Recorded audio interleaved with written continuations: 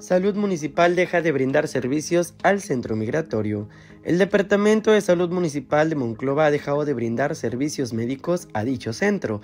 Ante escasos servicios solicitados, sin embargo, se dieron las atenciones durante los días de más afluencia. Así lo dio a conocer el director Arturo González aclaró que ya no era muy necesario estar trabajando en estas áreas, pues las lesiones que presentaban los migrantes eran menores y los mismos paramédicos de protección civil las podían atender, por lo que solo se optó por dejar a algunas personas de este departamento.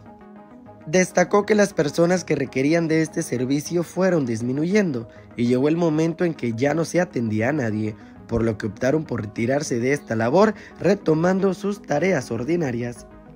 Salud Municipal continuará laborando en los centros de salud existentes, tanto el Instituto Mexicano del Seguro Social, el Amparo Pape de Benavides y bueno, los EDIF, a la espera de algún otro llamado donde ocupen su atención.